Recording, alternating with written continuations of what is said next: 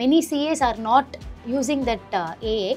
Only the technology related uh, guys are into uh, this field. Schedule 3 preparation, a small level of reconciliation. So I, I take small, small units of uh, technical challenges in audits. I start to do automate. Do the same work manually, I do it in an automated way.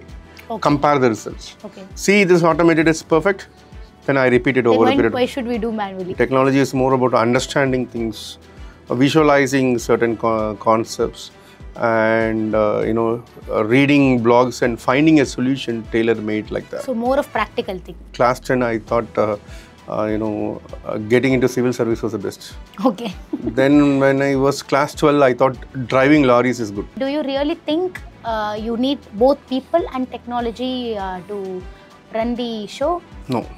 No. So only the technology is sufficient. Uh, For me, I rely on only computers. Computers. so it does not ask me any leave for uh, examinations. Correct. does not ask take any leave for uh, you know uh, wellness